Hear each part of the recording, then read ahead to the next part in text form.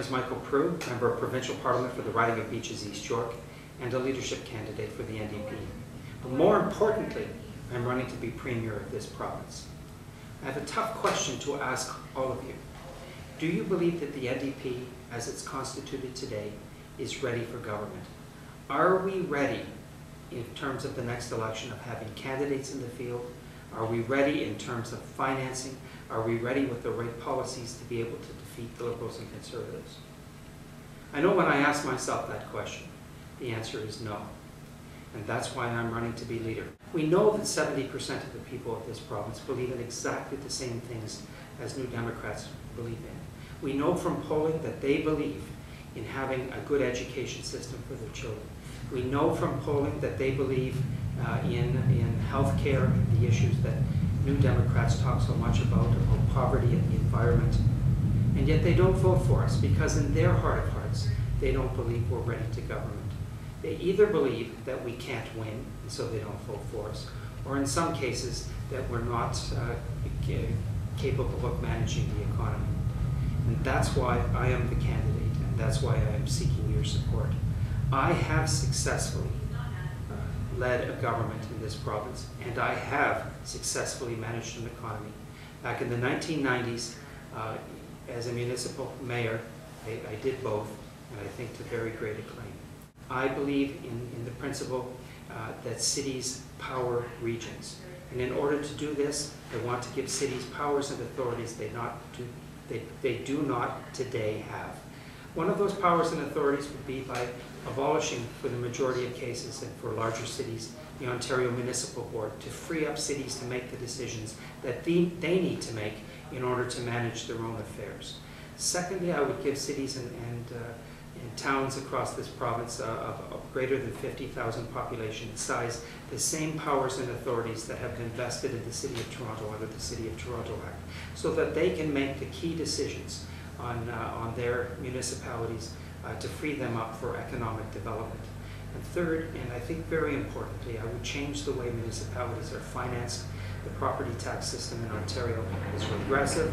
Property, we, we in Ontario pay the highest property taxes of any jurisdiction in the entire world. We need to change the city's reliance on those property taxes to give them a portion of the municipal sales tax as they do in the United States or a portion of the income tax as they do in most of Europe.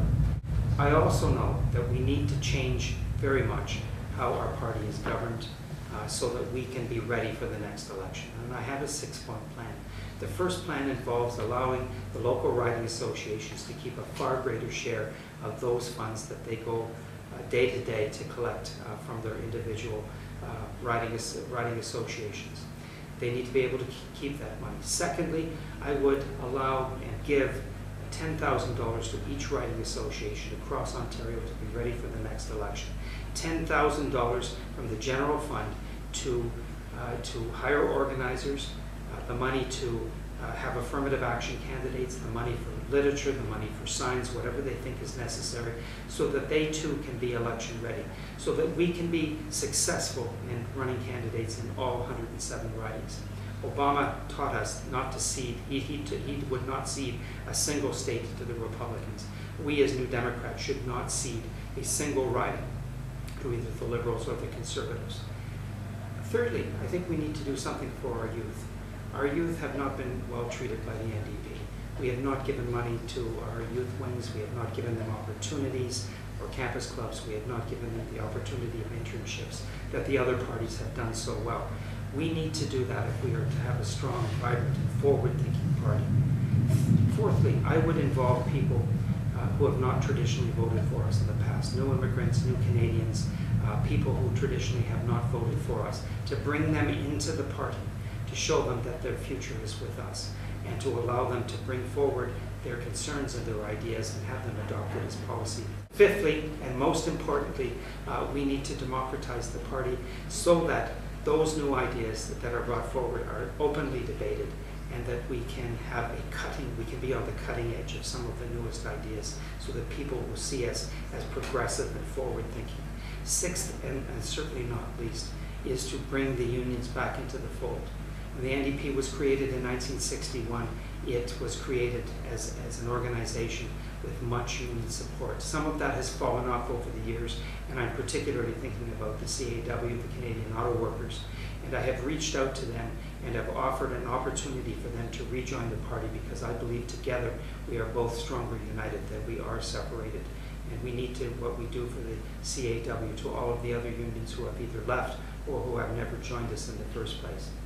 Having said that, I want to say that uh, I believe that I am the candidate to lead the NDP. And if you only remember three things, remember first that cities power regions.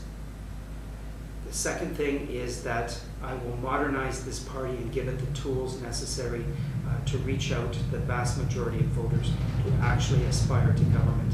And third is that I am eminently electable, having been a mayor, having been so successful as a politician over all of these years to bring in these new and disparate factions into the NDP. I believe that we can win in ridings we have never won before so that we can have results we've never had before.